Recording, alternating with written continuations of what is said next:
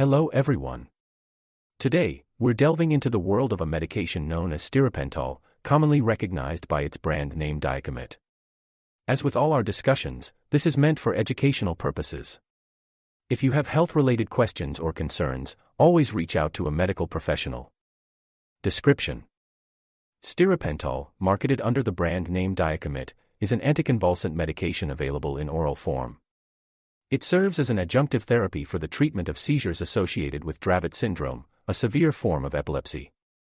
Approved by the FDA in 2018, Diacomit is specifically designed to be used in conjunction with other antiepileptic medications to control seizures in patients with Dravet syndrome who are at least two years old. Warnings Diacomit comes with its set of precautions. It's essential to follow your healthcare provider's instructions meticulously when using this medication.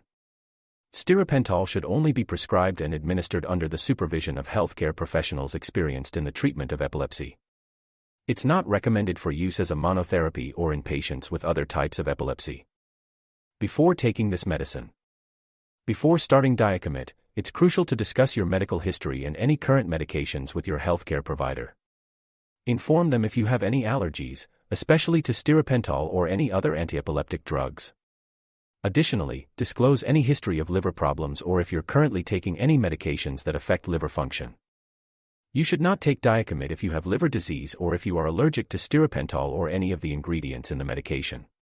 It's also essential to inform your doctor about any history of mental health issues or suicidal thoughts, as Diacomit may exacerbate these conditions. Side effects As with any medication, Diacomit may cause side effects.